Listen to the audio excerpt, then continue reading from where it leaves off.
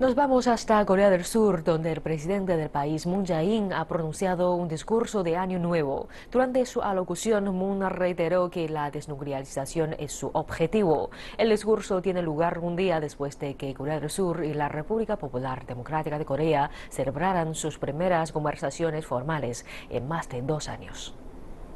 El presidente de Corea del Sur, Moon Jae-in, destacó durante su discurso que nunca se permitirá que ocurra una guerra en la península coreana. El mandatario surcoreano reiteró que la desnuclearización de la península es el camino hacia la paz.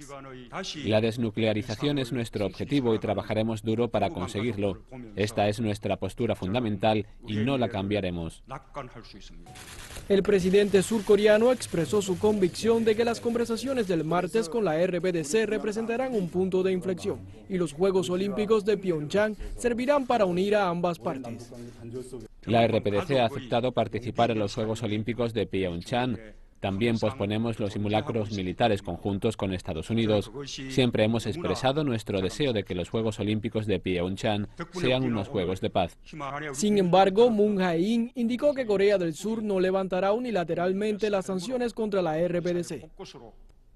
Mantendremos las sanciones contra la RPDC junto a la comunidad internacional y las volveremos a colocar sobre la mesa de negociación mediante la vía diplomática. Moon Jae-in dijo que una cumbre de líderes entre Corea del Sur y la RPDC es posible.